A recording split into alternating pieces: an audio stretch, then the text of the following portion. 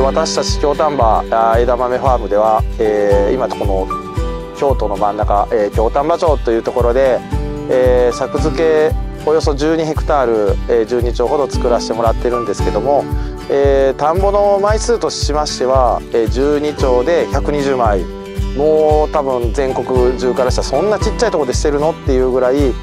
えー、なんですけども、あのー、京都の真ん中になりますんで、あの、中山間地っていうところで、あのすごい、え棚田のような畑もありますし、まあ、そういうところを守りながら、まあ、次世代あの子どもたちにつないでいけたらなと思って、え耕作放棄地を減らすために今あの特産品である黒大豆、えー、黒枝豆の方を作作付けしております。作付けするにあたり、え中耕作業、え防除作業っていうのがあのすごい大変な作業になりまして、えー、黒大豆は昔から黒豆とよくあの丹波地域で言われてるんですけどもすごいあの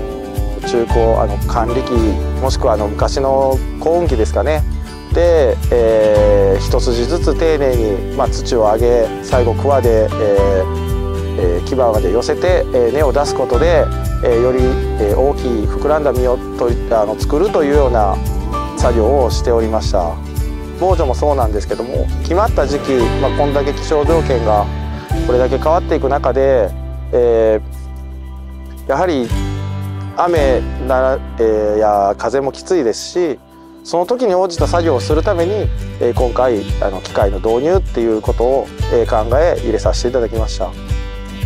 すごい気に入っている特徴といたしまして、えー、他のアタッチメントが取り付けられるため、えー、今まで、えー、中高作業と、えー、東北台風防止対策で、えー、摘心っていう作業があるんですけどもその作業も一緒に、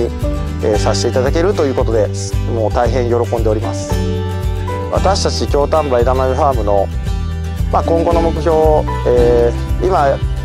えー、農業新規収納から始めて私は8年目になるんですがこの先まあ息子たちが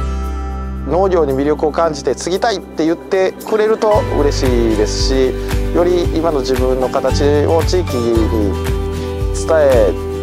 誰か一人でもこう農業って面白いなとか兼業ではなくて専門の農家としてやっていける形っていう方が増えていただけるともうより京丹波町もあの発展すると思いますしあの耕作放棄っていうこともないと思います特産品物ってこういうとこなんやって伝えていけるようなあの役割を担っていきたいと思っております。